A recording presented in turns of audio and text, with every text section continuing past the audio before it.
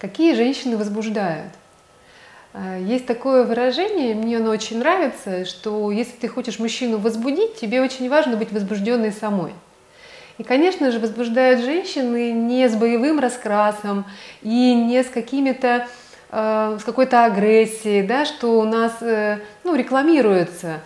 Если мы посмотрим, то везде это шпилька, это декольте, это короткая юбка. Конечно, так можно мужчину соблазнить но нам так очень сложно будет затронуть сердце мужчины.